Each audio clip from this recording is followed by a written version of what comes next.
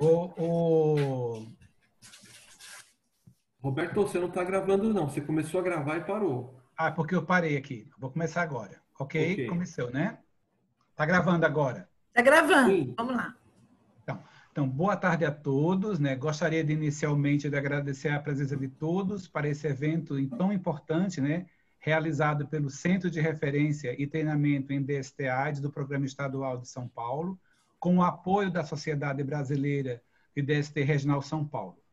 A proposta desse webinar, intitulada como IST Atualização no Estado de São Paulo, é de aproximarmos com a atualização das STs com os profissionais, tanto médico como enfermeiro, no atendimento aos nossos usuários no Sistema Único de Saúde no seu cuidado.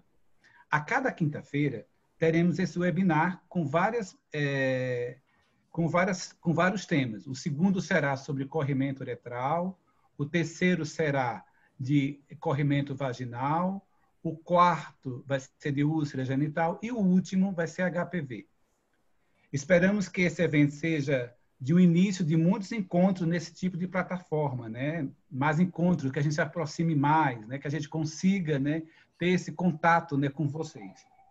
É, espero que todos aproveitem. E mais uma vez, eu peço que todos se identifiquem, porque quem vai receber o certificado tem que estar essa identificação aí, tá joia? Eu vou passar um pouco a palavra para Maria Clara, nossa grande Maria Clara, que teve essa, essa perspicácia de desenvolver esse webinar. Bom, queria agradecer bastante a todos, ao Roberto, a toda a interlocução de ST aqui do Estado de São Paulo, é, do CRT, pela organização. É, dessas várias tardes aí em que a gente vai estar discutindo a questão das ISTs. A gente é, a, considera essa questão muito estratégica, importante, em que a gente possa aprofundar, discutirmos e organizarmos serviços mais adequados também às ISTs. A gente vive um momento bastante complicado, né? Acho que a gente está é, no momento é, de pandemia, de Covid, mas ao mesmo tempo a gente precisa também discutir essas pautas. Pautas muito importantes e que é, dão conta da saúde integral das nossas é, pessoas que são portadoras de ST. Então, Roberto, Herculano, toda a equipe, muito obrigada, Valdir, muito ob obrigada pela organização desses vários seminários onde a gente vai procurar aprofundar a discussão das ISTs. E mais que isso, contribuir para que a população do estado de São Paulo possa ter uma atenção mais integral, mais adequada às ISTs. A gente pensa, a partir de, dessa, desses vários seminários, a mantermos encontros específicos para a discussão das ISTs. As ISTs, elas merecem esse tratamento, um tratamento que possa aprofundar aí a discussão no Estado. A gente espera também a produção de novos manuais, de novas discussões e atualização aos profissionais da rede. É nossa função, é função é, dessa coordenação e deste Centro de Referência e Treinamento em DST AIDS propiciar a que as pessoas tenham conhecimento e possam discutir estratégias adequadas ao enfrentamento das ISTs.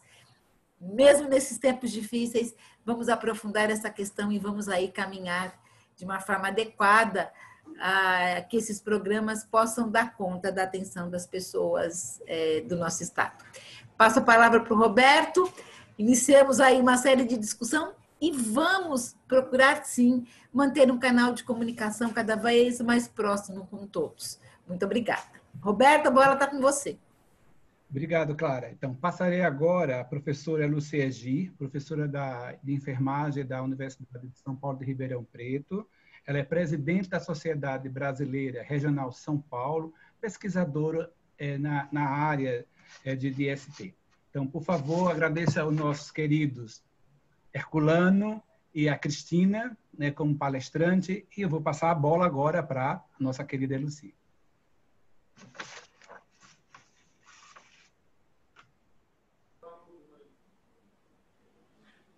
Boa tarde a todos. Inicialmente, eu agradeço ao Dr. Roberto pelo convite para eu moderar essa sessão. Agradecimento este que eu estendo a todos os coordenadores do evento, doutora Maria Clara, doutor Herculano, doutor Valdir, e também ao CRT de uma maneira geral. Também eu gostaria de agradecer pela oportunidade, mais essa oportunidade de parceria entre o CRT e a Sociedade Brasileira de DST Regional São Paulo.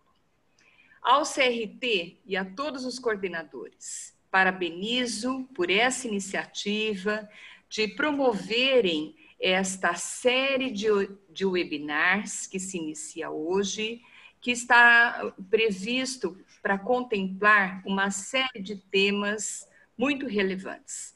E certamente cada sessão vai provocar discussões ricas e muito produtivas. E os resultados, seguramente, eles serão aplicados, né, sobretudo na assistência, no ensino, na educação em saúde, enfim, na atenção integral às IST.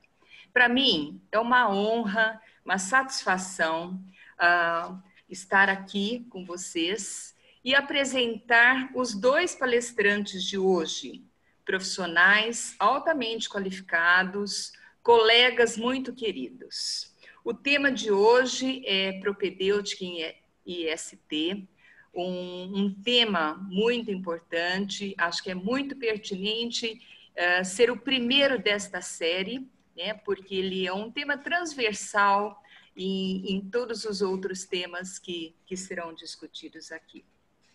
Então, nós teremos a, como primeira palestrante Cristina Lang, Langkammer Martins, que é enfermeira, coordenadora de enfermagem do CRT DST AIDS, tem especialização em administração hospitalar pela Universidade de Ribeirão Preto, ou na ERP, MBA executivo em saúde pela Fundação Getúlio Vargas, mestranda em saúde coletiva pela Faculdade de Ciências Médicas da Santa Casa de São Paulo. Cristina, uma honra contar com você e antecipadamente já agradeço pela sua participação.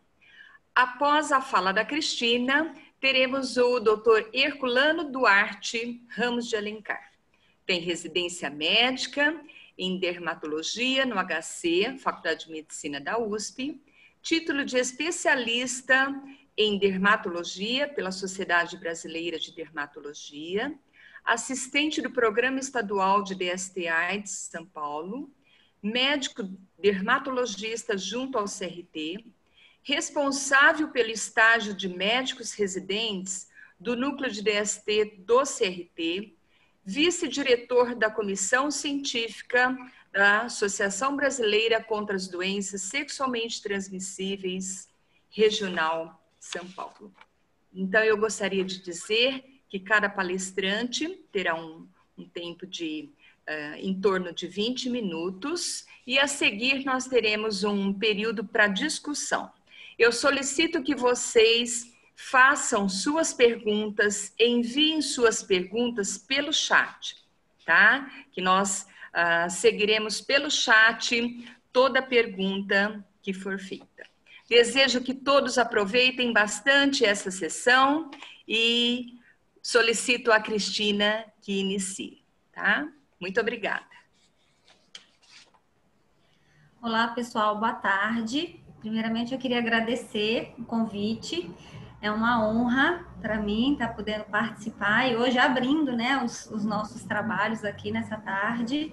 É, é, confesso que eu tenho uma paixão imensa pelo tema, é, me debruço, vai assim, gostei demais de estar podendo é, trazer um pouquinho para vocês aqui do nosso trabalho. Né? Queria agradecer o, ao Roberto, ao Herculano, a Lucia, a Clara, enfim, a todos que é, depositaram em mim essa confiança né, de trazer um pouquinho do que a gente consegue trabalhar aqui no CRT.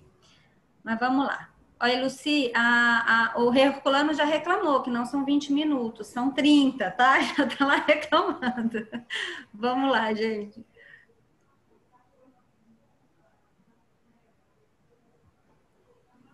Bom, vamos lá. Meu áudio tá ok para todo mundo? Sim. Deixa eu só.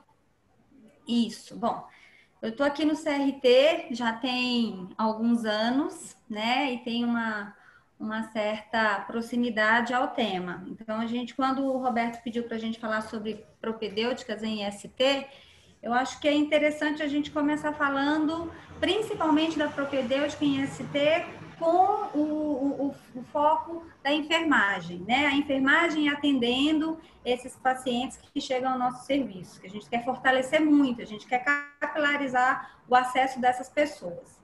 Então, vamos lá. É, quando a gente fala da enfermagem fazendo assistência a essa população, a gente fala da enfermagem fazendo abordagem sindrômica, né?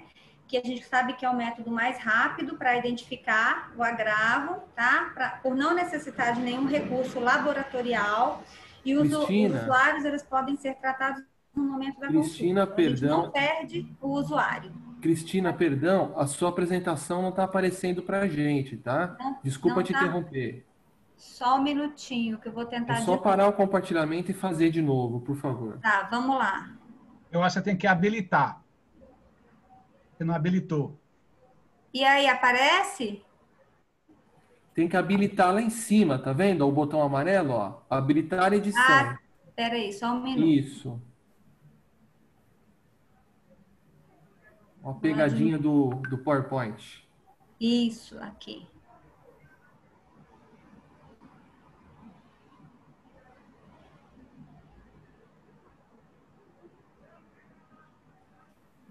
Ok, tá só mandar compartilhar de novo. Compartilhar? Exato. Vamos lá. Clica aqui e o share. Vamos lá, gente. E agora? Foi, é só agora colocar em modo apresentação. É ok. Obrigado. Eu que agradeço. Vamos lá. Bom, vamos falar né, da, da, das ISTs aqui. Eu, eu resolvi trazer um pouquinho da abordagem sindrômica, do enfermeiro executando essa atividade, né? Quem está mais na ponta, para a gente não perder esse usuário que procura o serviço. Então, a gente fala de abordagem sindrômica, que é um método que é o mais rápido para identificar qualquer agravo, tá? Porque não necessita nenhum recurso de laboratório e o usuário pode ser tratado ali, naquele momento. A gente não perde oportunidade, a gente não perde o usuário. Ele não vai embora para voltar no outro dia para passar para o médico. O enfermeiro tem condições de fazer essa assistência, porque ele está baseado na identificação de sinais e sintomas, ou seja, ele está baseado na, quando a gente identifica a síndrome. Ele está baseado no tratamento através do, da, do reconhecimento de uma síndrome tá? Que a gente identifica na hora da avaliação clínica. Tá? Quais são as principais características quando a gente faz a, a, a opção por é, fazer essa abordagem? A gente classifica os principais agentes etiológicos, segundo síndromes clínicas por, ele, por eles causados. A gente tem a oportunidade de utilizar os fluxogramas, que vai ajudar o profissional a identificar as causas de determinadas síndromes vai indicar o tratamento desses agentes etiológicos, né, para as síndromes mais frequentes, vai incluir nesse tratamento a atenção dos parceiros, o aconselhamento, a educação sobre o risco, a adesão ao tratamento e o fornecimento de orientação para a utilização adequada dos preservativos. Assim como incluir a oferta né, de sorologia para sífilis, hepatites e para o HIV. Quando a gente fala de abordagem sindrômica, qual o profissional, né? Qual a característica que a gente pensa desse profissional? Tem que ser um profissional acolhedor, que favorece, tem uma escuta respeitosa, que tem uma comunicação transparente e clara, estabelece uma relação de confiança com esse usuário, que afinal de contas ele vai tratar da sua intimidade com aquele profissional, né? Esse profissional também tem que transmitir segurança que eu acho que isso é fundamental. O usuário precisa confiar, precisa, precisa se sentir seguro na frente daquele profissional, tá? Ser isento de pré-julgamentos ou julgamentos de valores, ter a, a, o controle sobre a comunicação não verbal, porque a gente sabe hoje, em tempos de Covid, a gente está protegido com a máscara, né? Isso, de certa forma, é, para quem não tem esse controle, ajuda, mas a gente precisa também ter esse controle. E a questão da alteridade, a gente precisa aceitar as diferenças. Não é porque aquele usuário é diferente que eu não vou favorecer e dar oportunidade de tratamento para ele. Tá? Quais são as etapas desse atendimento? Nós falamos sobre anamnese, que é estabelecer essa relação de confiança e abordar as questões relacionadas à identificação, às condições socioeconômicas, aos antecedentes profissionais, à questão da sexualidade, enfim, tudo que vem junto com o paciente, que vem junto com o usuário. Então, é interessante fazer essa amnésia. O exame físico, a gente procura fazer o exame céfalo-caudal, usando sempre a inspeção, a ausculta, a percussão e a palpação, tá? Essas técnicas. E as condutas. Quais são as condutas que a gente vai ter depois do atendimento com aquele usuário? A gente vai oferecer receitas para tratá-lo, a gente vai fazer os encaminhamentos necessários e, principalmente, eu acho que o ponto-chave é a questão da orientação, tá? Quando a gente tem a oportunidade de estar com o usuário na nossa frente, identifica que ele é carente, né, dessas informações, a gente não pode perder essa oportunidade. Tem os instrumentos que a gente usa para fazer esse atendimento. Aqui no CRT, junto com a equipe do DST, nós desenvolvemos esse SAI, que é a Sistematização de Assistência de Enfermagem, talvez está um pouco pequenininho aí, vocês não conseguem enxergar tudo, mas de repente a gente disponibiliza, tá? Porque cada instituição pode é, customizar, vamos dizer assim, mas aí é só dar um norte, né? E aí, junto com os enfermeiros aqui do SAI, do CTA, do CRT, nós montamos, a gente conseguiu elaborar esse SAI, onde a gente engloba também a questão de PEP e PrEP, né? Então, a gente tentou fazer um instrumento único, é lógico que a gente, no decorrer do, do, processo de trabalho, a gente sempre vai estar identificando algumas coisas que faltam, que precisam ser anexadas, mas é o que a gente está implantando, tá? E a gente tem, de certa forma, orgulho de estar tá conseguindo, de ter conseguido montar esse instrumento. A gente, nossa, nosso livro de cabeceira para atender os nossos usuários é o PCDT de ST, né? Está super atualizado, saiu agora em abril, está quentinho do forno, que tem todo o passo a passo, toda a orientação necessária que o profissional precisa para assistir um, um, um usuário com, com, necessidades em IST. E um outro instrumento é a mandala da prevenção, que a gente precisa também apresentar isso para o usuário, o usuário, na maioria das vezes, é carente dessa informação. Muitas vezes ele não sabe nem o que, que é isso, na grande maioria. E a gente pode usar esse instrumento que ele é super é claro e ajuda a conduzir uma orientação bem completa para o usuário. Tá? Quando a gente fala de PCDT, a gente fala do fluxograma. A gente trabalha toda, toda a assistência de, de enfermagem, todo atendimento a pessoas com IST no CTA pelo enfermeiro, ele é acompanhado, ele tem, deve ser seguido por fluxograma para atendimento, né?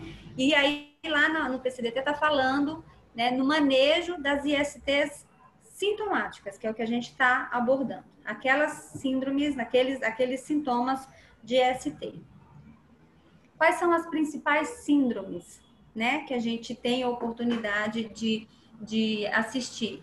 É corrimento vaginal, né, que tem o corrimento vaginal, tem o prurido, dor, tem dor durante a relação sexual, apresenta um odor fétido, tá? O sinal mais comum pode ser edema de vulva, hiperemia de vulva, corrimento vaginal ou, e ou corrimento cervical.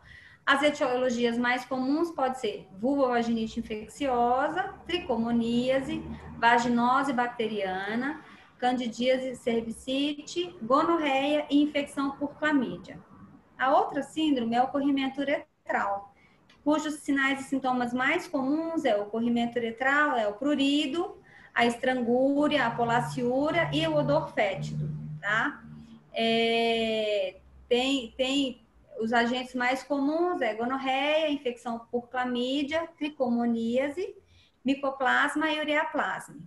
A úlcera genital, tá? O, o, o, próprio nome já diz, o sintoma mais comum é a úlcera, tá? E tem também o aumento dos linfonodos, principalmente na região inguinal, tá? A gente está falando de agentes como sífilis, né? Agentes mais comuns: sífilis, cancro mole, herpes genital e donovanose. E, por último, o desconforto ou dor pélvica, que é comum, que é mais incidente em mulher, tá? Corrimento cervical, dor à palpação na região abdominal, principalmente dor na mobilização do colo, tá? Temperatura acima de 37,5.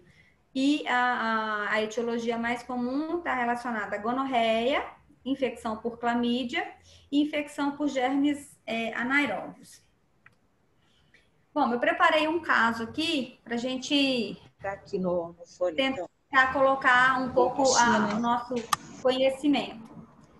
É, bom, RM, 32 anos, sexo masculino, heterossexual, casado há oito anos, procurou o serviço com queixa de presença de líquido amarelado, tá? No canal da uretra, principalmente ao acordar, e disúria há dois dias.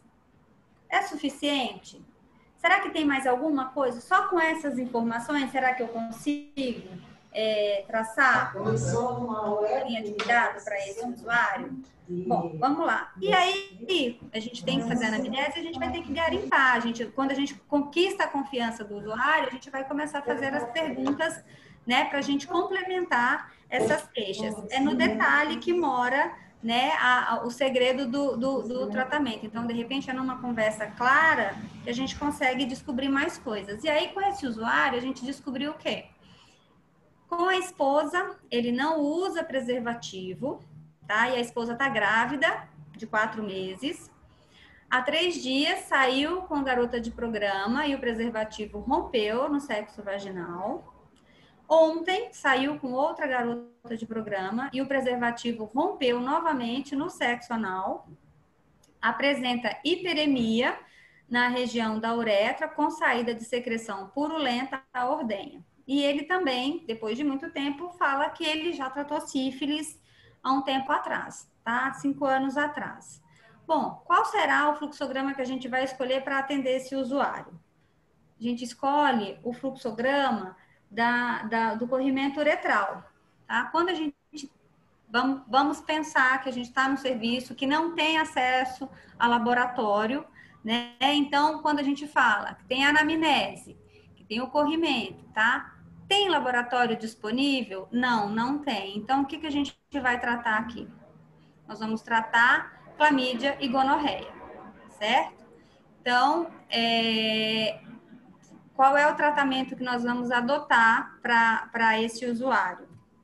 A gente vai fazer a prescrição de ceftriaxona, 500 miligramas, tá? Intramuscular, uma dose única, e mais azitromicina de 500 miligramas, dois comprimidos via oral, dose única também. A gente vai liberar esse paciente para casa e vai pedir para ele retornar com sete dias, porque a gente precisa acompanhar. E aí a gente volta lá no fluxograma, né? Se teve melhora dos sintomas em sete dias, ok, alta. Se não, aí tá bem miudinho aqui, gente. Eu coloquei uma cola aqui do meu lado que eu não vou enxergar, lógico, né? É, verificar, né, é, se tiver, tivesse tido oportunidade de, de coleta, mas como a gente está falando de um serviço que não tem é, laboratório, então a gente trata novamente e pede para voltar com 14 dias, tá? Se voltar com mais sete dias, se voltar, ele retorna para a gente fazer o encaminhamento. Isso eu estou falando do enfermeiro de um serviço que não tem médico, que a gente não consegue pedir ajuda, tá bom? Depois o doutor Roberto e o doutor Herculano vão, vão me ajudar. Bom, só que não é só isso, não, é, ele não vai sair do meu consultório apenas com a receita de ceftriaxona e azitromicina. Eu preciso também traçar a sistematização de enfermagem para esse usuário. Então, quais são os diagnósticos de enfermagem que eu posso colocar na, na assistência desse paciente? Ele tem um risco de transmissão de infecção, que nós já vimos lá que ele tem relação sexual com a esposa e não usa preservativo, tá? Ele tem uma integridade da pele prejudicada, porque ele apresenta uma hiperemia, principalmente no canal da uretra. Tem um conhecimento deficiente, porque quantas vezes ele fa sempre fala que a camisinha estourou, arrebentou, enfim, teve exposição. Tem o risco de infecção, principalmente para HIV, porque todas essas, essas é, vezes que ele teve relação sexual e que teve é, problema com preservativo, teoricamente, a gente, se ele procurasse um serviço, a gente talvez iniciaria uma PEP, né?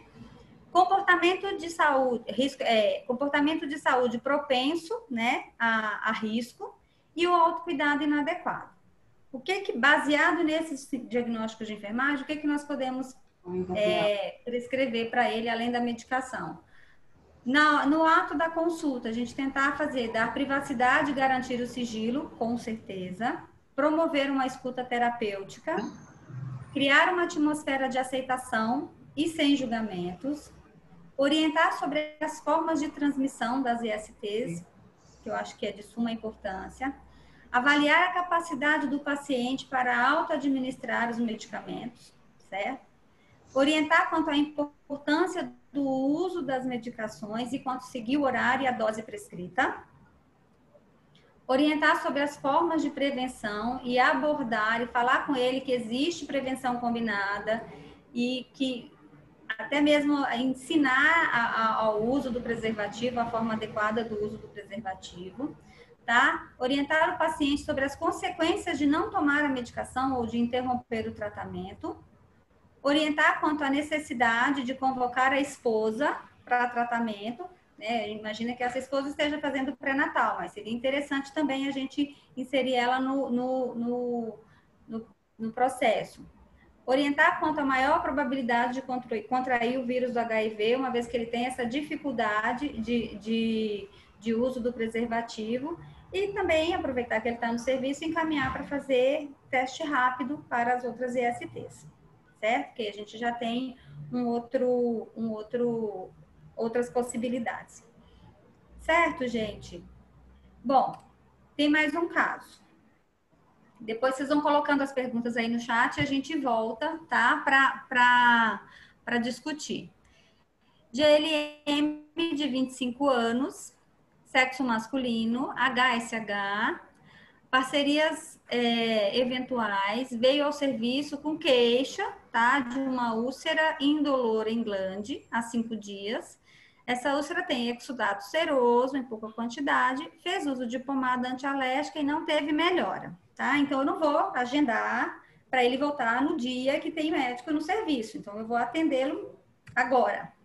Mas isso será que é suficiente? Será que eu não preciso de mais informação para complementar o meu diagnóstico para esse paciente? Bom, o que, que ele me fala no, na, na, na, na, conversa? Né? A última relação sexual dele sem preservativo foi há mais de, de há 15 dias. Ele tem uma lesão que teve início né, com uma pequena ferida, que foi aumentando do tamanho e não tem dor. Teve mais de dois parceiros depois desta exposição, porém só com sexo oral, sem proteção. Está com aumento de linfonodos na região inguinal e nunca teve nenhuma IST. O que, que a gente pensa a princípio, né? Vamos lá. Qual o fluxograma que nós vamos usar? O fluxograma de úlcera genital, né? Então, nós temos a queixa, foi feita a anamnésia de forma adequada. Tem laboratório na instituição? Primeiro IST, né? Então, peraí que eu tenho minha colinha que eu não estou enxergando. Eu acho que vocês também não devem estar enxergando bem, não. Tá? É, é, uma, é uma, uma úlcera que tem, que não é nenhum trauma, que não tem chance de ser nenhum trauma? Tem chance de ser uma IST? Sim. Tá? E aí a gente fala aqui, ó. Tem laboratório no meu serviço que eu possa colher o exame e ter um, um, um, um resultado rápido? Não, não tem. Então, eu venho para esta forma aqui, ó. Então, eu tenho, tem evidências de, de lesões vesiculares ativas? Pelo que a gente olhou lá na foto e no exame físico, não tinha. Então, a gente, teoricamente, a gente fala que não, e aí a gente vai tratar o quê? Sífilis cancroide. Certo? Tá bem pequenininho. Isso aqui eu copiei e colei do, do PCDT. Gente, PCDT tá no site, tem o link, então é fácil de acessar para todo mundo, tá? Bom, que, que a gente vai tratar? Cancroide e sífilis. Quais são as medicações que eu vou fazer prescrição? Para cancroide, eu vou fazer azitromicina, 500 miligramas, dois comprimidos, tá? Por via oral, dose única. E para sífilis, eu vou fazer penicilina benzatina, 2 milhões e 400, tá? É, 1 milhão e 200 em cada glúteo. Cristina, mas aí o paciente falou para mim que tem alergia à penicilina. Então, será que eu tenho um problema aí, gente? O que, que vocês acham? eu volto lá e falo assim, então, vamos começar, vamos voltar à investigação, tá? Vamos investigar qual foi a reação que o paciente teve quando ele falou que a, a, a reação alérgica. Ele falou que ele não lembra. Segundo ele, a mãe comentou uma vez, né, quando ele tomou a penicilina que ele era criança, ele desmaiou mas a mãe falou com ele que ele tinha alergia à penicilina benzatina e ele tomou aquilo como verdade e ele, todo lugar que ele vai, ele fala que tem alergia à penicilina benzatina. Mas ele não lembra e a mãe que falou. E aí eu perguntei, a gente pergunta de novo, mas você, lembra de ter tomado penicilina benzatina alguma vez na vida? Tendo em vista que ele relatou lá na nossa amnese, que ele falou que ele nunca teve nenhuma IST, então, ele falou que ele não lembra, mas ele acredita que ele nunca tomou penicilina benzatina. Então, as chances dele realmente ter alergia à penicilina é baixíssima, porque quando a gente fala que desmaia, né, não é reação alérgica, nós estamos falando de uma reação vasovagal. O processo alérgico é completamente diferente. A gente fala de prurido, a gente fala de edema, a gente fala de até casos extremos de uma anafilaxia, nós estamos falando de edema de glote. Nesse caso, qual a nossa conduta? Mantém. A gente vai medicar ele com penicilina benzatina. Tá? Mas se eu estivesse falando de uma gestante, uma gestante com uma lesão e que, re, e que realmente afirma, jura de pé junto que tem alergia à penicilina benzatina. Para gestante, a gente lá quando a gente volta na, nas medicações, a gente tem aqui, ó, como alternativa, nós temos além da ceftriaxona intramuscular, nós temos também o, o, cipro é, não, isso aqui é para é o cancroide, desculpa. Para sífilis, a gente tem a doxaciclina. Só que para gestante é proscrito o uso de doxaciclina. Quando a gente fala de gestante com sífilis, a dose de primeira escolha é a penicilina benzatina. Então, não tem escapatória para essa gestante. Por mais que ela não tenha certeza do processo alérgico que ela apresentou quando ela entrou em contato com penicilina benzatina, que foi a mãe que falou, ou seja, para a gestante, a gente tem um fluxo diferenciado, que é realizar o teste de sensibilidade penicilina para poder identificar né, se é verídico ou não essa alergia e, caso seja verídico, fazer a dessensibilização. Caso seja negativo esse teste, a gente trata com penicilina benzatina. Então, são dois caminhos aí que a gente tem para tratar. Na pessoa que não é gestante, nós temos a outra opção, que é a doxaciclina. Só que isso não funciona para gestante, ok? E o que mais que eu posso falar para esse paciente? Quais são os diagnósticos de enfermagem que a gente pode traçar para ele? Ele tem um risco de transmissão de infecção, né? Porque ele teve relação sexual sem uso de, do preservativo com outras pessoas. Ele tem uma solução de continuidade de pele, ou seja, ele tem uma lesão, tá aberto, né? ele tem um conhecimento deficiente, porque ele, ah, não, mas eu tive, tive relação com outras pessoas, mas foi só oral. Né? Mesmo assim, ele estava tá, tá correndo risco. Ele tem risco de infecção, o risco aumenta muito mais para a contaminação do vírus do HIV, tá? Ele tem um comportamento de saúde propenso a risco, ele está expondo ele, ele está expondo a, a rede de parceiros dele e um autocuidado inadequado vamos dar privacidade para ele, ele precisa saber que ali ele está num, num, num, num, consultório com um profissional que está tratando ele com, com respeito, com seriedade, então vai acolher as, as, as dificuldades e demandas dele, a gente vai promover uma escuta terapêutica, nós vamos criar uma atmosfera de aceitação e sem julgamentos, tá? Orientar sobre as formas de transmissão, sempre alçando mão da, da mandala da prevenção, avaliar a capacidade do paciente para auto-administrar as medicações, orientar quanto à importância do uso da medicação, orientar as formas de prevenção, abordar de forma é, bem, bem clara né, a questão da, da, da, prevenção combinada, orientar o paciente sobre as consequências de não fazer o uso, não fazer o tratamento encaminhar para testagem e principalmente é, convocar as parcerias sexuais, que isso é de suma importância, tá? Bom, quando a gente, eu queria aproveitar e agradecer a equipe do ambulatório, né, do CTA aqui do CRT, que é, a Maria, supervisora, a Jéssica, que era supervisora do CTA. Quando a gente começou a construir esse instrumento, a Jéssica foi de suma importância. Enfim, o Joaquim, a Cristiane, a Eliana, a Terezinha, a Valquíria Edna, que é enfermeira da educação continuada, que está acompanhando a gente nesse processo de construção. Lembrando que não é um processo fechado, não é um, não é um, um, um, um documento engessado, a gente tem que estar sempre aberto a novas é, ideias e a novas possibilidades, imagem, para estar tá, é, fazendo isso, porque na maioria das vezes tem a questão da dificuldade do respaldo legal. Eu queria aproveitar a oportunidade para falar que desde de quando a enfermagem é, lá em 1986, que saiu a, a, a, Lei do Exercício Profissional, no artigo 11, é, fica muito claro o enfermeiro, né, eu até escrevi aqui, o artigo 11, inciso 2 na linha C, e ele fala que prescrição, né, é, privativamente o enfermeiro, prescrição de medicamento estabelecido em programas de saúde pública e em rotinas aprovadas pela instituição de saúde.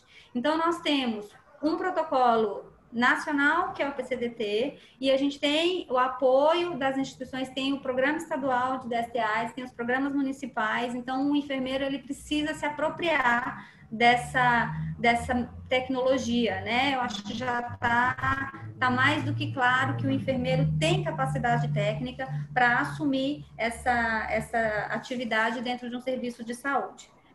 Eu queria agradecer pedir desculpas aí que eu fiquei um pouco nervosa. Eu vou sair aqui da minha tela e aí eu vou devolver para a Eluci. Muito obrigada.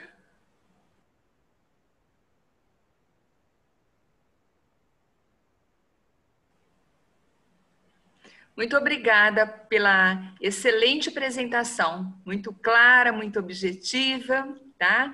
E eu gostaria, antes de convidar o doutor Herculano, eu queria lembrar a todos os participantes para encaminharem sua, suas perguntas. Escrevam suas perguntas no chat, que após a apresentação do doutor Herculano, nós vamos fazer uma discussão, viu? Por favor. E também não, não se esqueçam de escreverem seu nome no chat. Isso vai favorecer que você receba o certificado. Muito obrigada. Então, eu solicito ao doutor Herculano para proceder à sua apresentação. Quando eu apresentei o doutor Herculano, eu deixei de falar uma outra característica dele, a de poeta. que tá muito nos inspira. Bom, deixa eu entrar aqui, ver se eu acertei. Coloca aqui propedêutica PowerPoint, apresentação do slide. Tem o screen, aí eu boto o PowerPoint, né? Aqui, vamos ver. Share. Tá aparecendo? Tá aparecendo? Sim, Herculano, está aparecendo. Perfeito, Herculano, está ótimo. Então, tudo bem. Bom, agradeço a todos, a mim mesmo, né, porque eu participei dela. Mas quero agradecer a todo mundo. Cris, foi muito boa a sua apresentação, vai facilitar, inclusive, a minha apresentação. Tá? Eu também, como você, gosto de, de fazer uma discussão. É... Vamos ver se está entrando aqui. Não está entrando? É que você colocou a última, a última, o último slide. Ah, tá. Então deixa eu voltar aqui.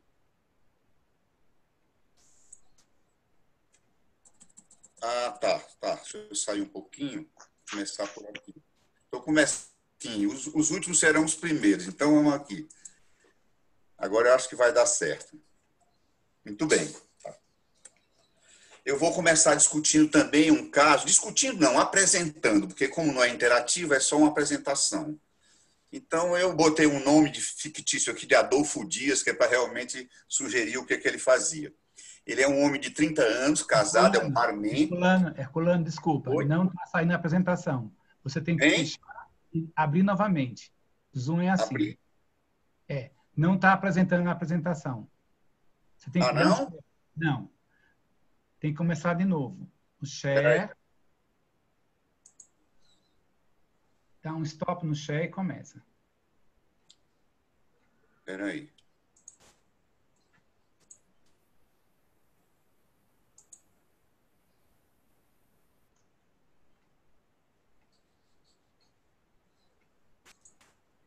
Tá, tá, tá vendo agora? Tá vendo. Parabéns, tá bom. Posso ir? Então, pode, tá... pode. Então tá aqui. Não sei se vocês viram a, a, a primeira coisa do Adolfo Dias, então 30 anos. E assim, qual é a sua hipótese de diagnóstico? Por que, que eu fiz essa, essa apresentação? Porque há uma diferença entre você chutar um palpite, eu poderia dizer, ah, eu acho que é sífilis. Seria um chute, porque você é, tá, tá, não, não, não começou a fazer nenhuma propedêutica, já chegou, antecipou um diagnóstico. Ou você pode elaborar um raciocínio clínico e formular hipóteses, e para isso é necessário o quê? Que eu tenha mais informações para poder montar lá o quebra-cabeça. E quais são as informações que eu preciso? Resumidamente, a história clínica, tudo isso entra como anamnese, a história clínica, a história sexual, essa a gente aprende na faculdade, essa não, vai aprender durante a vida, né, atendendo. O exame clínico e, se tiver disponível, alguns exames é, complementares. Vamos ver o nosso paciente, a história dele. Ele tem uma lesão ulcerada, dolorosa, há três dias no corpo do pênis, logo depois de receber um sexo oral receptivo sem preservativo com a sua parceira fixa. A lesão inicialmente era hemorrágica e posteriormente exudativa, com formação de crostas. Nega passado de DST, tem exame sorológico negativo para sífilis, hepatite B C e HIV, porque ele fez um check-up, ele faz anualmente, há 30 dias ele tinha feito esse check-up. Também tinha feito um exame urológico há 40 dias e estava tudo em ordem. Não usa drogas ou medicamentos sistêmicos, mas usa o bendito da neomicina, é, que quase todos os pacientes chegam usando o tal do nebacetim. Tá? E na história sexual, ele é heterossexual, tem uma parceira fixa há três anos, a prática de sexo vaginal e oral sem preservativo, ativo e receptivo. E tem a última parceira sexual que ele teve antes dessa parceira atual, que é a esposa dele, casado. A última parceira é, é uma amiga de trabalho que ele manteve dois anos de relacionamento. Ou seja, em cinco anos, ele teve é, duas parceiras, está ganhando de mim. Então, a esposa faz exame ginecológico periódico, não apresenta qualquer anormalidade, está grávida de seis meses, com todos os exames pré-natais normais e sorologias negativas. Ela relata ainda que a esposa apresenta um quadro depressivo, com baixa autoestima, e está se sentindo rejeitado e está desconfiando que ele esteja traindo. Bom, o exame físico geral não apresentou nada de, de nota, diga-se de passagem, o exame geral, como a, a Cris já falou, e, é, faz o exame, inspeção da pele, de mucosa, boca, ânus, faz a inspeção geral, não é só o exame da, da queixa genital. Então, nesse exame, é, ele não apresentou nada digno de nota. E no exame genital, ele apresentou essa lesão. É uma lesão ovalada, ulcerada, com esses pequenos entalhes semilunares. Aqui está formando esses entalhes, algumas lesões até fora da úlcera maior, e os entalhes. E arrodeando em volta dessa lesão, a gente nota um certo escurecimento, tipo de uma equimose e um edema no dorso do pênis, que é difícil de ver. Mas parece que o pênis era, era, era mais fininho antes do, do que o que está agora aqui, tá bom? Então, é, de exames complementares, o que é que ele tem disponível? Um teste rápido negativo para hepatite B, C, HIV e sífilis. E o campo escuro e a bacterioscopia que a gente faz rotineiramente não foram realizados por causa dele estar usando, então, o antibiótico tópico. Aí a gente pergunta, agora, qual é a sua hipótese de diagnóstico? Cancro duro, cancro mole, herpes genital. Eu não achei é, que era que tinha a ver com doença sexualmente transmissível. Então, optei pela opção de não é DST. E por quê? O que, que me levou a pensar nisso? Primeiro, que se você olhar na história, você não, não nota uma ausência, não, a presença do período de incubação. O aparecimento da lesão foi há três dias e coincidiu com o, o momento em que houve a relação sexual oral desprotegida com a esposa. Segundo, a história sexual aparentemente não revela risco evidente para infecção sexualmente transmissíveis. Tá? É um paciente que teve duas parceiras em cinco anos, tem uma parceira só, atualmente, fixa, é, com pré-natal, está grávida, com todos os exames normais. Ele mesmo também não apresentou nenhum exame que confirmasse uma infecção sexual, sexualmente transmissível. E a terceira é que a característica da lesão é um tanto artificial. Se a gente for observar, a lesão é ovalada, esses entalhes semilunares, o, o, a, o, a equimose peri, é, perilesional. Na história, ele teve na evolução inicialmente um quadro hemorrágico para depois ficar mais, mais é, exudativo. Então, parece que as lesões não, não cabem muito bem é, nos principais diagnósticos diferenciais das úlceras genitais produzidas por infecção sexualmente transmissível. Tá? Então, eu pergunto: falta investigar algum dado na história? Sim. Houve algum trauma precedendo a lesão? Porque a gente sabe que trauma pode ser uma causa de úlcera genital de, de transmissão não sexual. Então, esse caso é bastante interessante. É um, a úlcera traumática por uma mordedura de esposa ciumenta.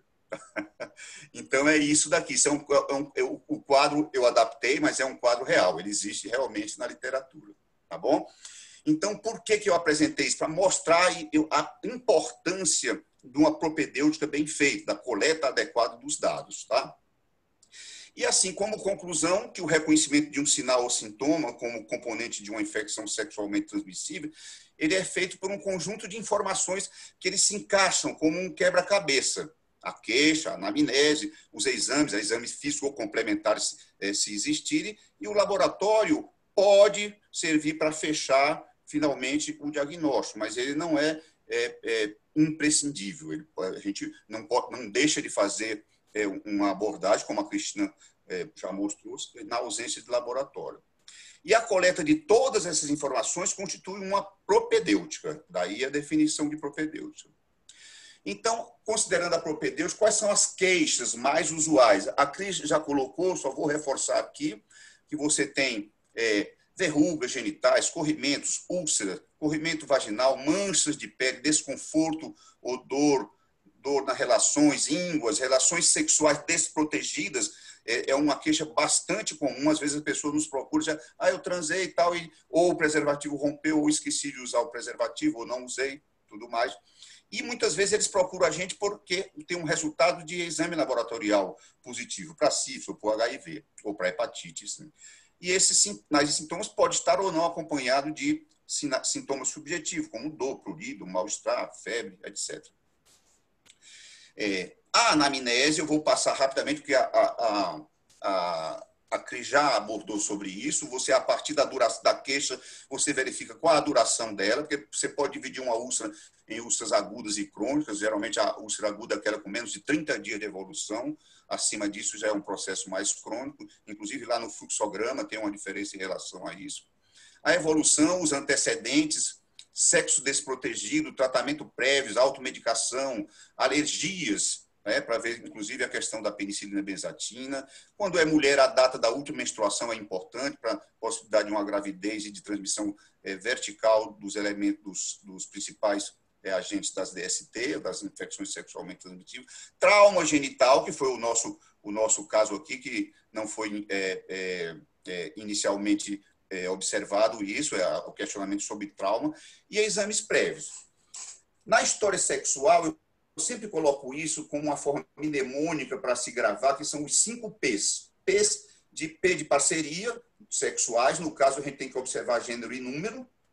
P de planejamento histórico de gravidez, tá? pelo menos investigar a data da última menstruação, se usa algum método anticonceptivo, além do preservativo, proteção, que é o preservativo, mas aqui eu estendo, em vez de proteção, é melhor prevenção, que você pode estar colocando aqui a prevenção combinada, observação da possibilidade de PEP ou de PrEP, e as práticas sexuais, vaginal, oral, anal, receptivo ou penetrativo, e para cada uma dessas práticas a gente deve observar se ele houve proteção.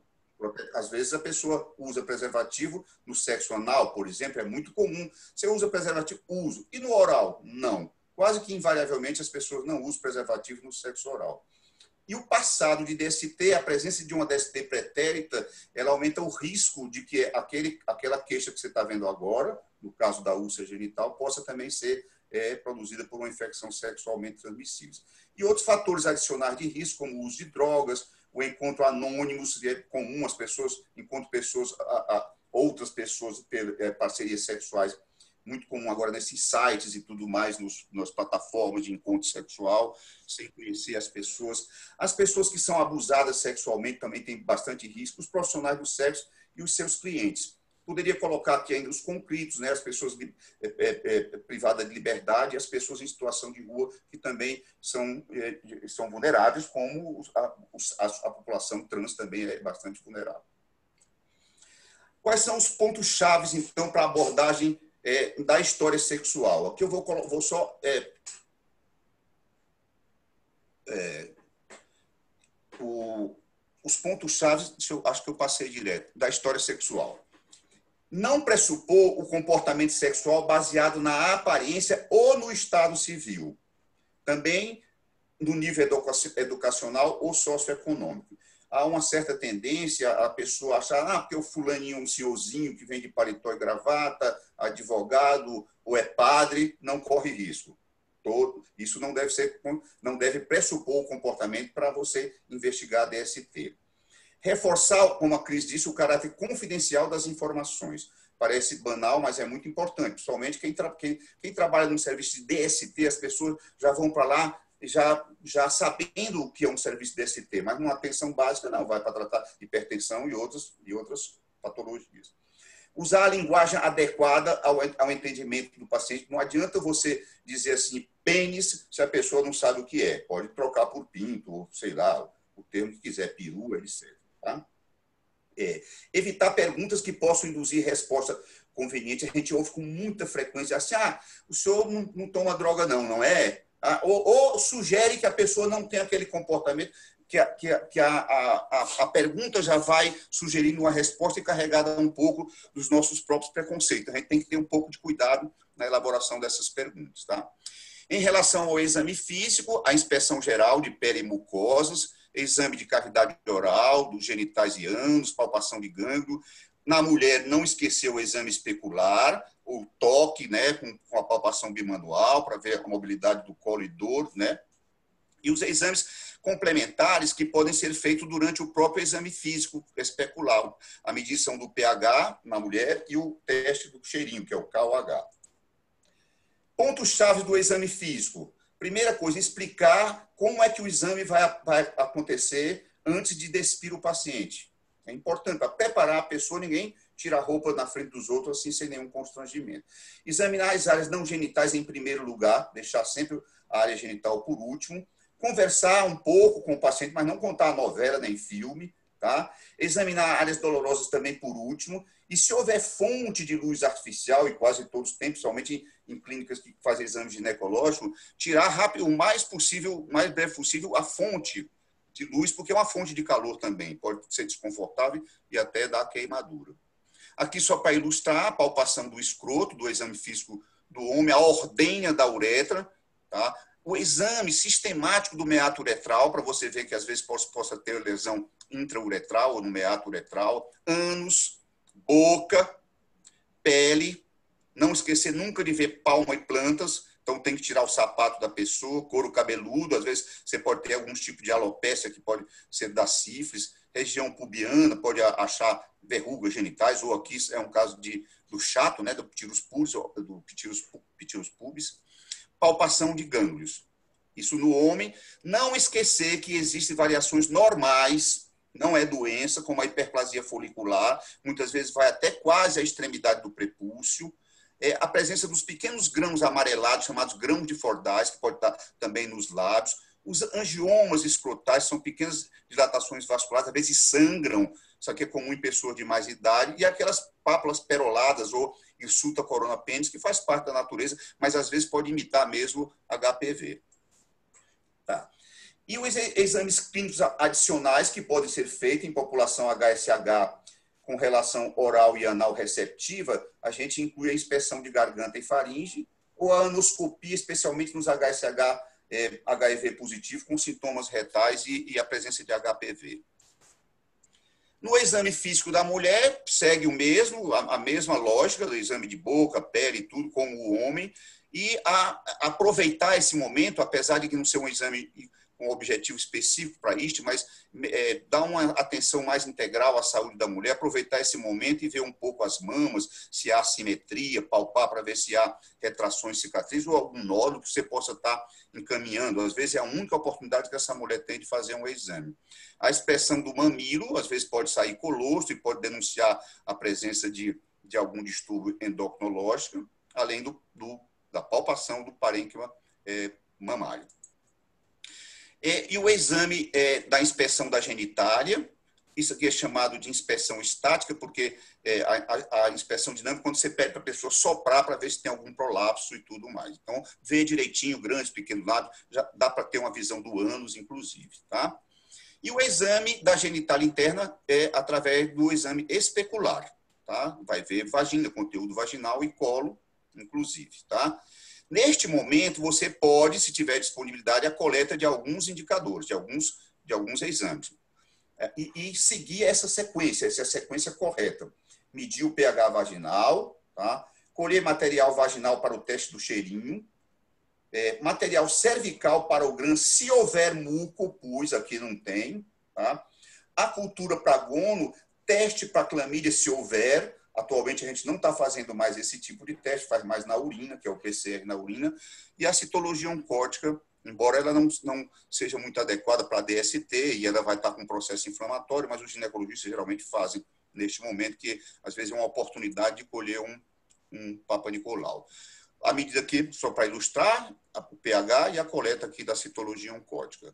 Na mulher, a exemplo do homem, existe também variantes que são normais. A hiperpigmentação perivulvar, a papilomatose vestibular, que é o correspondente à hirsuta corona pênis no homem, os angioceratomas, igualmente, pode aparecer na mulher, e também os grãos de Fordyce. É bom, a pessoa tem que ter esse conhecimento dessas variantes para não estar tratando coisas como sendo coisas normais como sendo doença. O aconselhamento, a Cristina já, já, já abordou, é a escutativa, é, é um, é, tem como principais focos, eu acho que seria assim, a discussão para negociar estratégias né, de, de, de, de, busca das parcerias sexuais e também favorecer a, auto, a, a, percepção do risco. As pessoas, às vezes, não têm percepção do risco para que ela possa adotar práticas mais seguras em relação às infecções sexualmente transmissíveis. Os principais focos são, então, favorecer a percepção do alto risco, informar sobre as interrelações entre as DST HIV e as DST entre si, informar sobre a natureza assintomática de várias DST, é com umas pessoas, ah, eu, ah meu, meu marido não quer vir, ou meu parceiro não quer vir, ele não tem nada. É, mostrar que as DST podem ser assintomáticas e podem estar transmitindo mesmo sem sinais ou sintomas. Esclarecer a importância do exame do tratamento das parcerias sexuais, e, finalmente, discutir uma estratégia né, para buscar os parceiros. Em geral, as pessoas preferem que elas mesmas sirvam como agente educativo, vai lá para conversar com os seus parceiros. Mas você pode usar outros recursos, como o telefone, é, rede social, é, pode usar um, um, um papelzinho, um, esqueci o nome agora que chama, um pequeno papel para encaminhar com a pessoa, para quando ela voltar, grudado lá o, o, o com a permissão dela, é claro, ninguém faz nenhuma convocação à revelia, tá? E dos agravos, é, a, a, Organização Mundial de Saúde tem, propõe que para as úlceras genitais, você, os, os parceiros eleitos são os do, dos 90 dias a partir do diagnóstico da úlcera genital. É, para os corrimentos uretrais, a partir dos 60 dias. Nos últimos 60 dias, a partir do aparecimento dos sinais e sintomas. No caso das doenças inflamatórias pélvicas, a mesma coisa. No caso da sífilis, a sífilis primária entra aqui nas úlceras genitais, 90 dias. As secundárias, seis meses, e a latente em um ano. e, no caso de diagnóstico de tricomoníase, apenas o parceiro atual. Em relação ao exame laboratório, rapidamente, só para a gente saber que tem algumas técnicas que possam ser utilizadas né, na, na, nas DST, como a cultura, poderia citar a cultura pragono, microscopia, eles pode, poderia citar o, o, exame a fresco, ou com coloração pelo GRAM, ou mesmo o campo escuro, detecção de antígenos, detecção de ácidos nucleicos, que é o PCR é um tipo de detecção de ácido nucleico, pode ser feito para cancro mole, cancro duro, herpes genital, pode ser feito também na uretra, pra, na urina para clamídia e gono, as sorologias que a gente faz para HIV, hepatite B e C e sífilis, testes rápidos que a gente tem também para as hepatites, sífilis e HIV. Histologia não é usual, é muito mais para tirar dúvidas em relação à úlcera de evolução mais crônica, particularmente em pessoas portadoras de HIV, ou para o diagnóstico diferencial de algumas lesões cutâneas, e alguns marcadores que podem ser usados como o pH vaginal, as aminas, que é o teste do cheirinho, e essa estearase leucocitária na urina para um indicador de infecção urinária ou de uretrite. A coleta de material para exames, então, acho que eu passei, deixa eu ver, isso. A uretra, uma coisa importante da propedêutica é avisar que a uretra aqui pode ser um pouco dolorosa avisar também que o paciente idealmente deveria estar duas horas sem urinar, mas isso é, é impossível, porque é um, é um serviço aberto e ele vem em consulta emergencial, a gente colhe do mesmo jeito. Usar o material é, é, é, umedecido, não usar nenhum tipo de lubrificante, pode, você pode colocar água, introduzir o suave lentamente, 3 a 4 centímetros no, no homem e na mulher, é, é, 1 a 2 centímetros, girar ele lentamente, tirar suavemente. E pode também preparar um esfregaço de lâmina ou inocular diretamente no meio de cultura, ou o que a gente faz no nosso serviço é colocar no meio de transporte. A ordenha do pênis pode favorecer a detecção do corrimento, e em meninos pré-puros e meninas, a coleta de amostra intrauretral não é recomendada. É, a coleta cervical, após a introdução do espéculo, você remove o exudato vaginal, é, insere o suaves no canal endocervical, gira lá 180 graus, colhe o material endocervical para o diagnóstico de Neisseria gonorreia. Clamídia trachomatis nós não estamos fazendo por esse método, a gente está fazendo na urina pelo PCR. Tá? E obter as amostras de Neisseria gonorreia antes da amostra de clamídia. É, e as amostras da cervix devem ser colhidas em, em pré, é, não devem ser colhidas em pré-púberes é, aí é uma coisa curiosa, né? Normalmente a, a, a gonorreia ela não dá lesão vaginal, dá lesão de colo, mas na pré-pública ela pode dar lesão vaginal, então pode colher, colher da vagina. E em mulheres que sofreram esterectomia, vai coletar a urina do primeiro jato. Lesões cutâneo-mucosas, vesículas, você pode romper a vesícula e colher da, do assoalho da vesícula ou aspirar a vesícula íntegra com a seringa.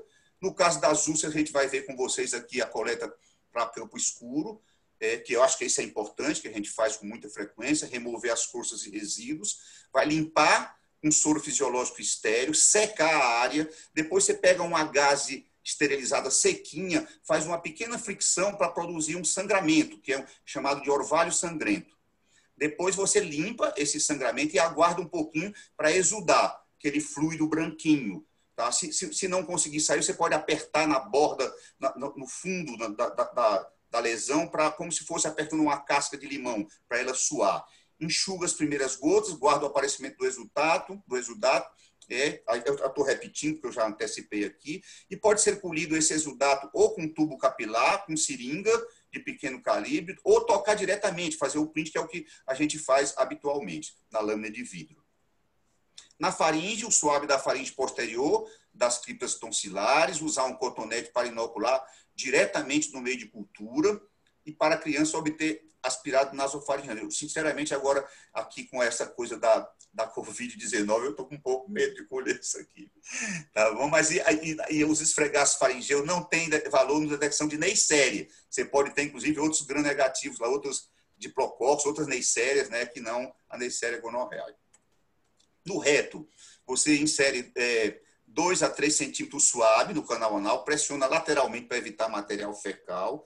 Se houver contaminação, despreza e colhe outro. E com a anoscopia não lubrificada, você pode utilizar água, a contaminação fecal pode ser evitada, porque ela vai mostrar, você vai ter uma visão, uma visão direta do que você vai colher, especialmente nas pessoas que são assintomáticas. Na vagina, a coleta do material vaginal geralmente é feita, como eu já expliquei, em função do exame especular. E, finalmente, vou deixar um recado do Osler, que é o William Osler, que é o pai da medicina moderna, que ele diz o seguinte: na anamnese, siga cada linha do pensamento, mas não interrogue apenas o que julgar essencial. Nunca sugira, mas leve em conta as próprias palavras do doente. Bom, era isso que eu tinha para dizer. Muito obrigado. Como é que eu saio daqui agora? Aqui. Alô? Como é que eu saio agora aqui? Deixa eu ver. Stop share. Hein? Stop share.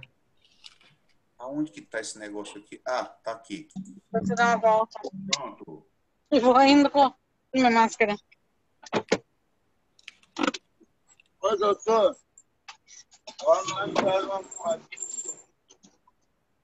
Alô?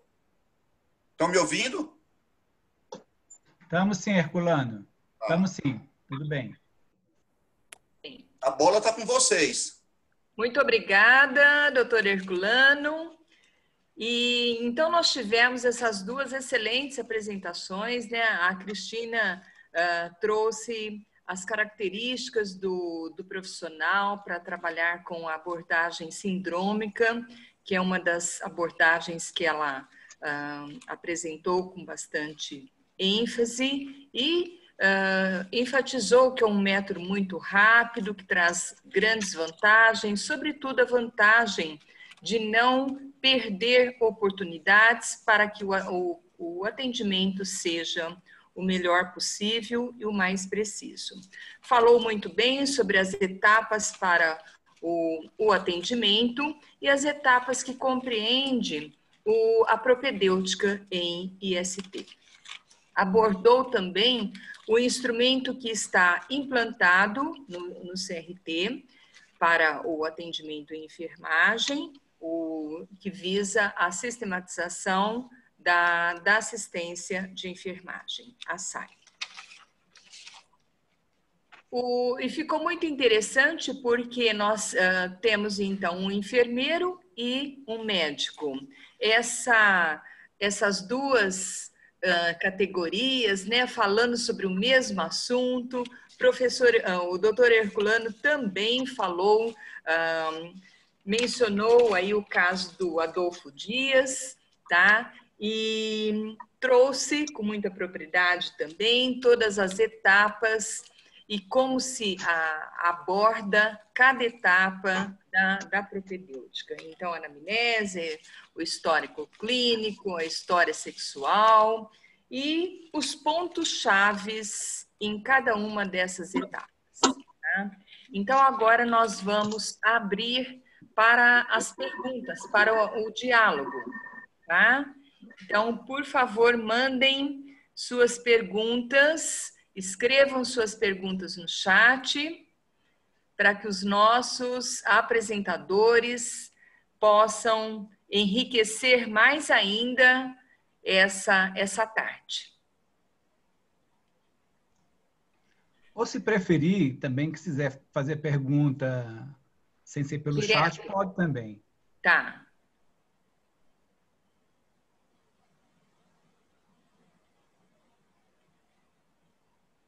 a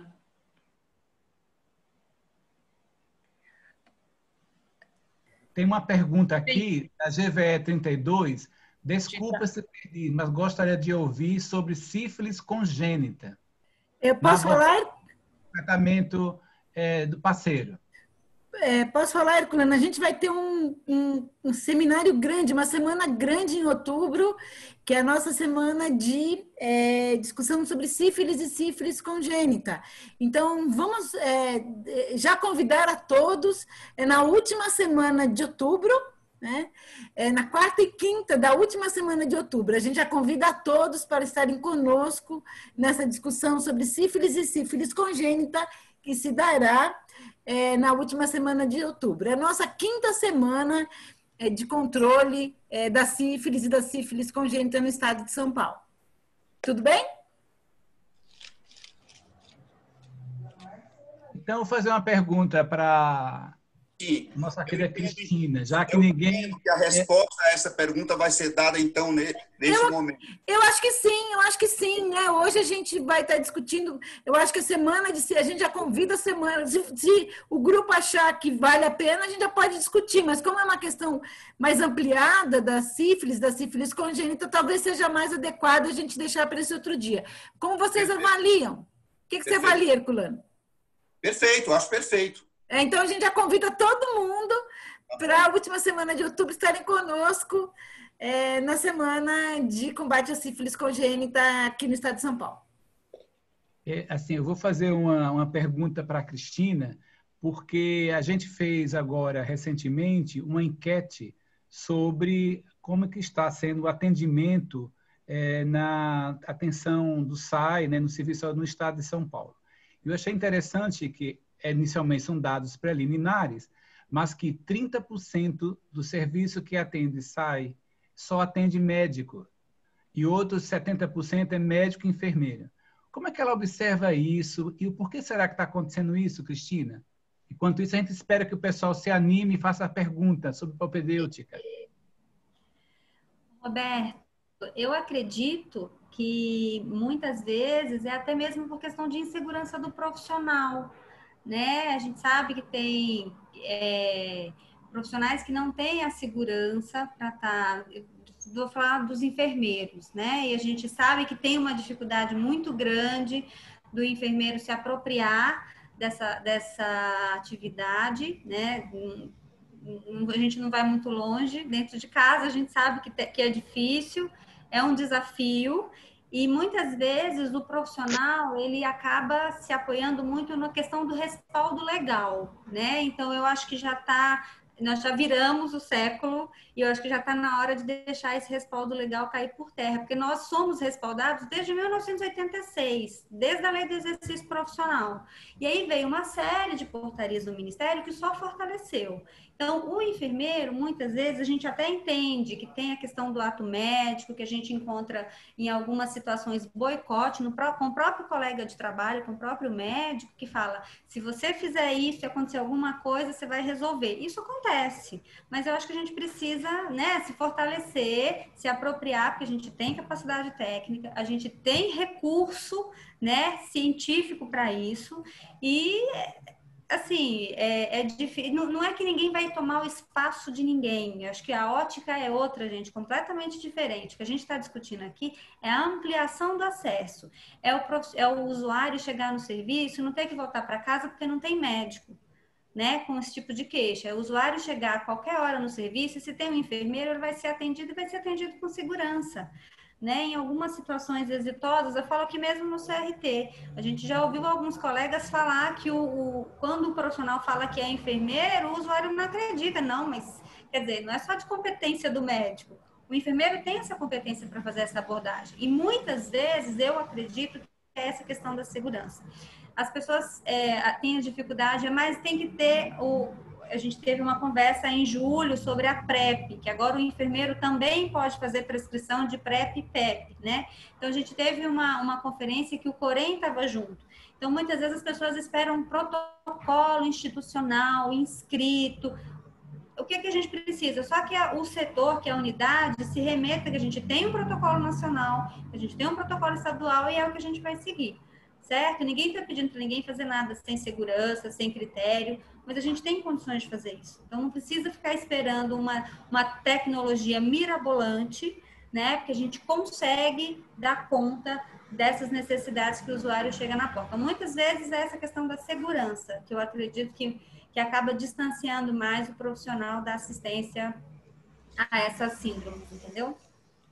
Muito bem, nós já recebemos algumas perguntas e então o Valdir Pinto pergunta para a Cristina, uh, solicita que você fale um pouco sobre a resolução do COFEM sobre enfermeiros atendendem IST. Esse é um ponto muito bom, Cristina.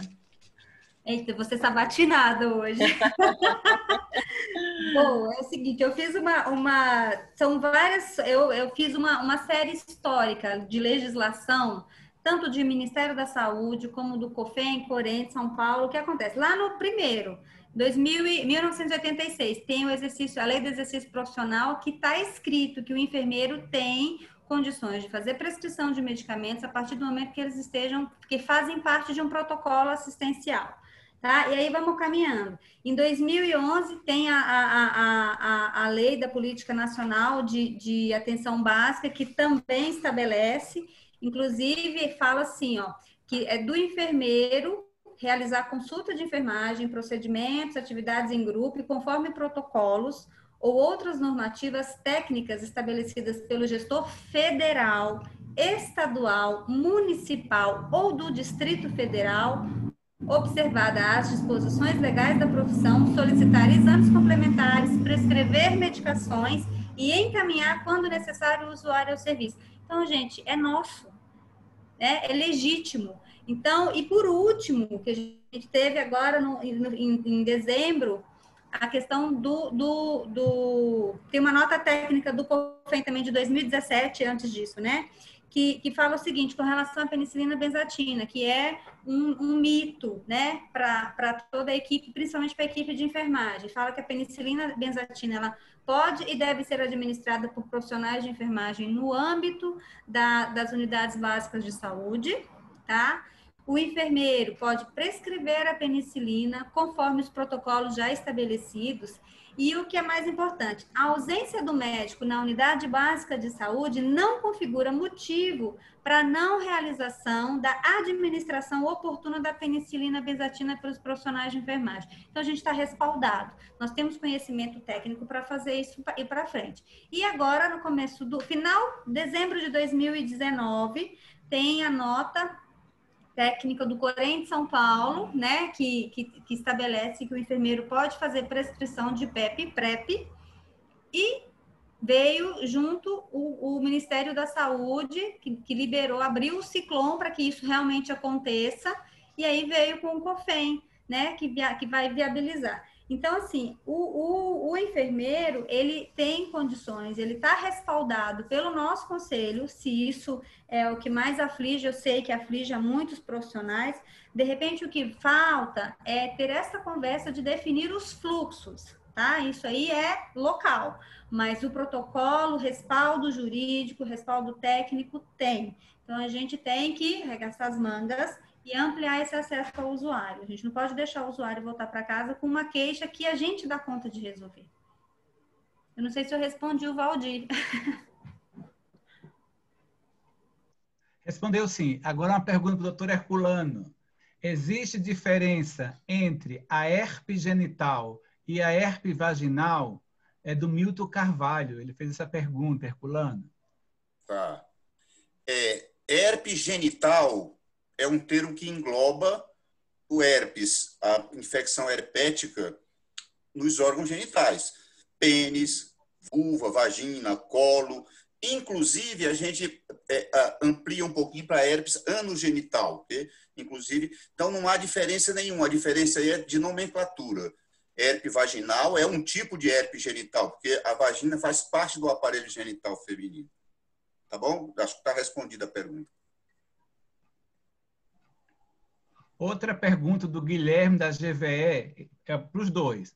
Uma grande dificuldade que percebo é a linha tênue entre o sigilo e individualidade do paciente e a abordagem das parceiras e parceiros, até hum. do ponto de vista legal. Boa pergunta, hein? Tá, tá. É. Veja bem, eu acho que é bem pertinente mesmo. É, a abordagem do parceiro sexual é o calcanhar de Aquiles de qualquer programa de doenças sexualmente transmissíveis, porque basicamente ele tem um papel importante na quebra da cadeia epidemiológica. Então, por si só, isso já, já justifica a abordagem da parceria sexual. Qualquer método que você use deve observar pelo menos três princípios. Um, o primeiro princípio é do sigilo. Então, você tem que guardar o sigilo. O sigilo não é do profissional, é do serviço como um todo. Todo mundo é corresponsável pela guarda do sigilo, porque o prontuário pode ser acessado por outros profissionais e não só o profissional daquele momento. Então, a guarda do sigilo, a individualidade. O outro são é, é, procedimentos que, tem, que estejam dentro da lei, da legalidade. E o terceiro é, é, é que não, teja, não seja coercitivo. Você não pode chegar à parceria sexual de modo coercitivo, à revelia do paciente. Por isso que eu acho, e é, e é difícil mesmo, é, essa linha é tênue mesmo. E, e, o que pode manter essa linha é, tênue, mas é, inquebrável, é a relação que você tem com o, o, o paciente no momento. Você, você é, é, criar um ambiente de, de confiança é o que pode manter essa, essa linha, apesar de tênue, mas sem ser ultrapassada. Tá? Então, é isso aí. Então, de, qualquer método de busca de parceiro que obedeça eh, os princípios eh, de confidencialidade, de sigilo e de não coerção, ou seja, dentro de aspectos legais, pode ser, pode ser realizado.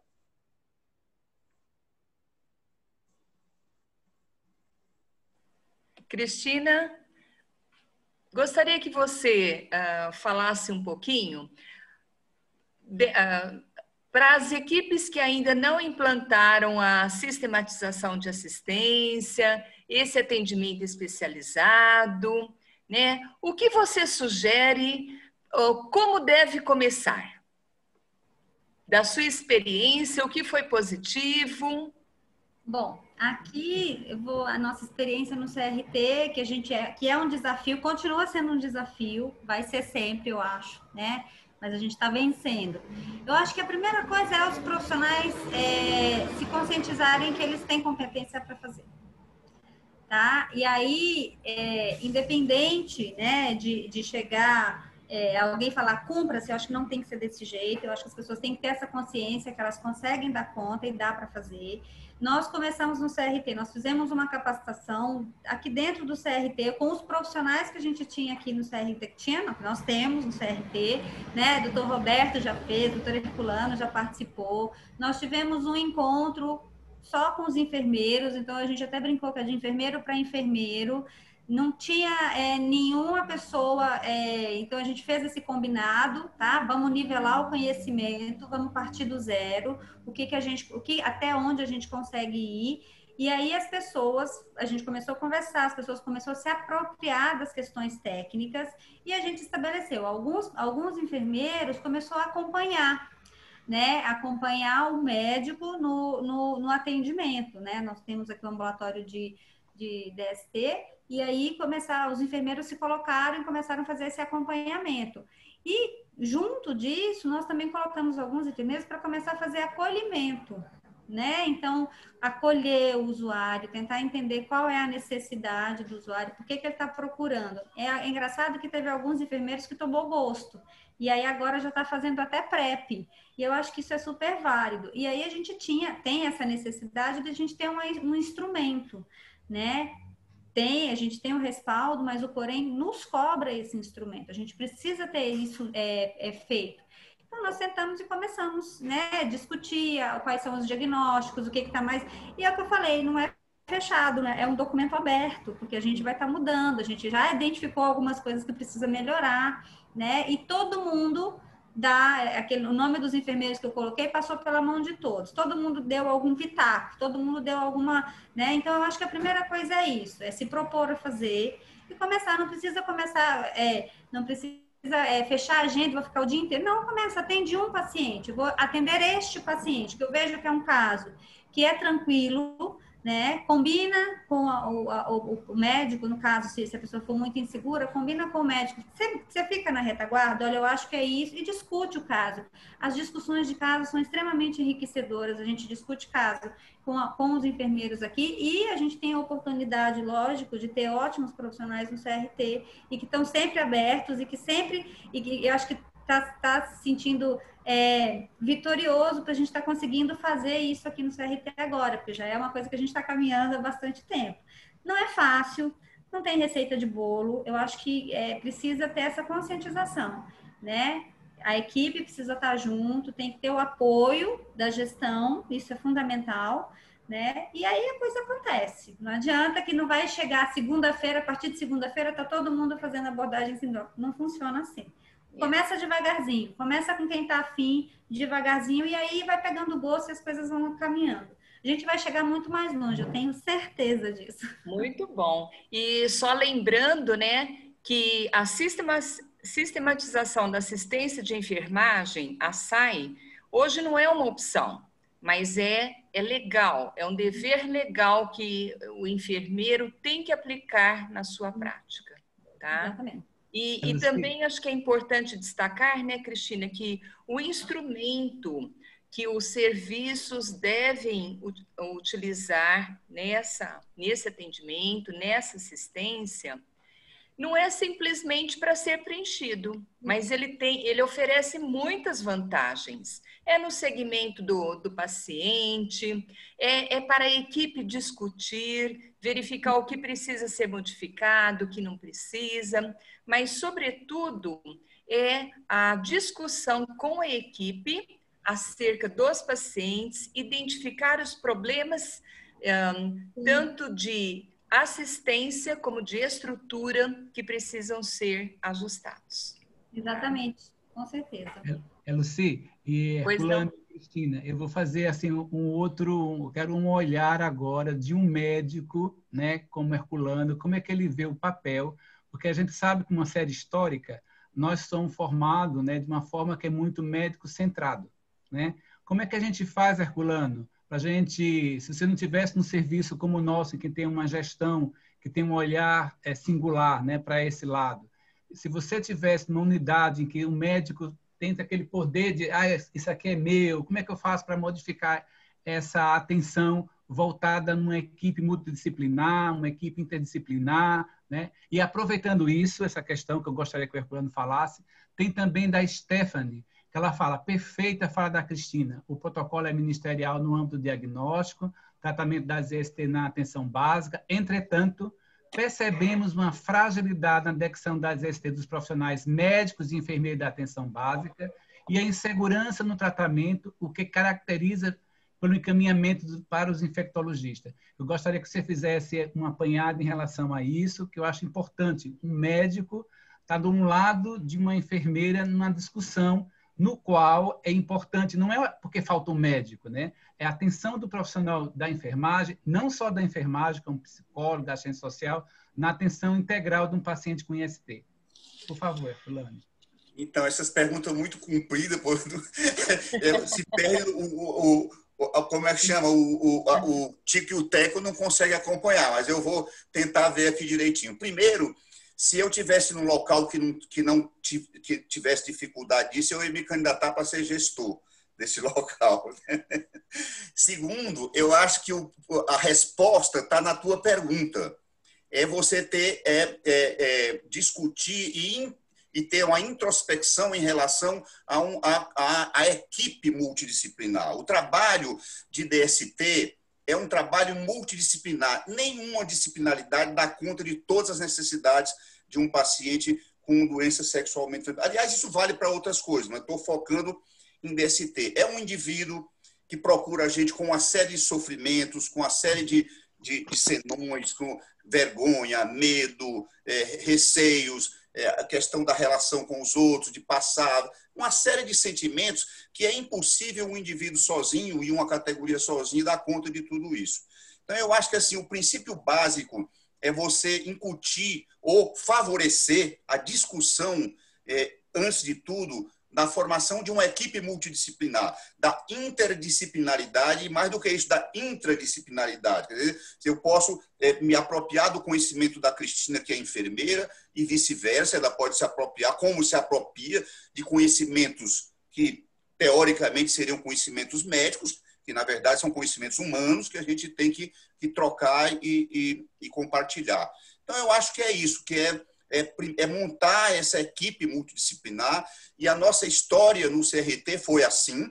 A gente começou a montar uma equipe multidisciplinar, isso lá muito atrás, quando ainda era lá no, no Santa Cruz, né, Clara? Lá no, no serviço de, de, que era o uh, eu não me lembro o nome que Antônio era, Carlos, não Antônio, Antônio Carlos. Carlos. Exatamente, da Antônio Carlos. Então, a gente tentou já desde aquela época não fazer uma coisa especificamente voltada para para atenção médica, mas para uma atenção multidisciplinar. E aí não é só enfermeira, envolve também é, os auxiliares, a enfermagem como, como um todo, psicólogo, serviço social, odontologia, tá? outras especialidades médicas, não só as nossas, esse, esse, esse conjunto de, de pessoas, cada um com seus conhecimentos específicos, mas compartilhando esse, esse conhecimento com os demais. Então, essa soma que eu acho que é importante.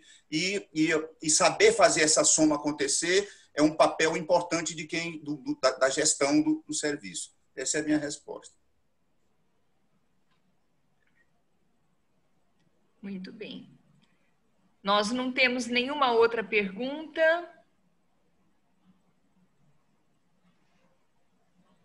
Não. Eu queria dar uma palavrinha aqui só para a Cris, que eu achei muito legal, Cris, você participar. Aliás, o certo seria que todos nós ficássemos calados e as perguntas fossem só você que respondesse hoje, viu? Porque é uma Não. coisa muito legal a gente está começando o nosso serviço com a abertura por você, que é uma, enfermeira comprometida, que já que é, é, participa de todas as iniciativas é, do, do, serviço de DST, não só você, mas todos, todas as pessoas. Nós temos é, pessoas que são bastante acessíveis, a, a, a gestão do serviço ajuda bastante, porque tem uma visão multidisciplinar. Então é isso, você está de parabéns, tá? E, Herculano, aqueles dois casos que a Cristina mencionou, eu tive a, a percepção de que o, os pacientes foram muito bem atendidos. Né? Porque a, a enfermagem, ela tem uma, um talento para alguns pontos, como aconselhamento, não que os médicos não tenham, mas a gente tem um, um talento assim diferente em alguns aspectos, né, Cristina? Então, eu entendo que aqueles dois pacientes foram muito bem atendidos, né? E não foi perdida nenhuma oportunidade para eles saírem do serviço, tá? E muito bem, parabéns a essa equipe.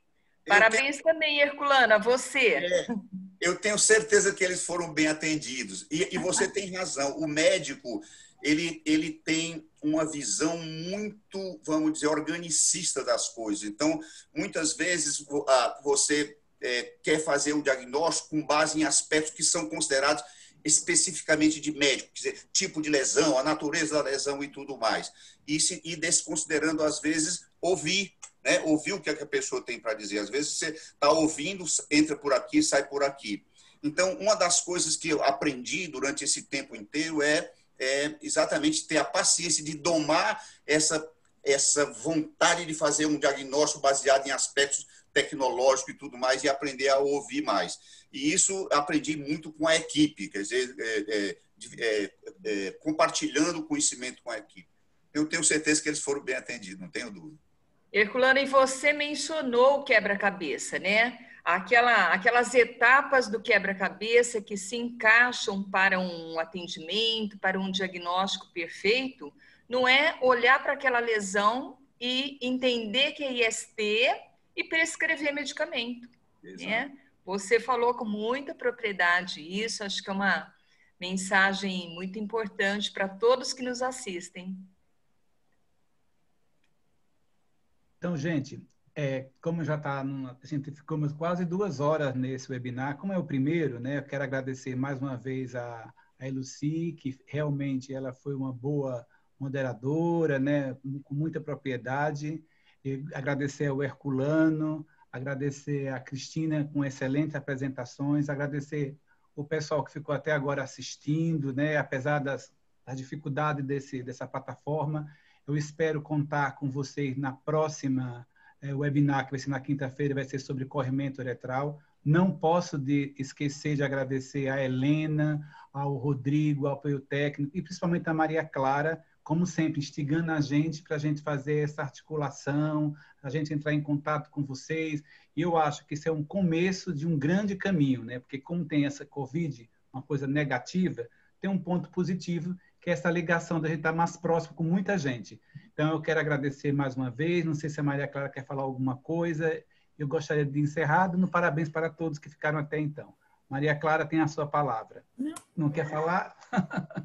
um abraço a todos e até a próxima webinar, quinta-feira, de corrimento uretral. Vou passar para vocês o, o link. E se vocês puderem conversar, poder discutir e socializar esse, esse webinar, seria muito interessante, né? Ok? Um abraço. Muito obrigada. Tchau, gente. Obrigada. Tchau, tchau. Tchau, parabéns. Tchau, gente. Beijo, tchau.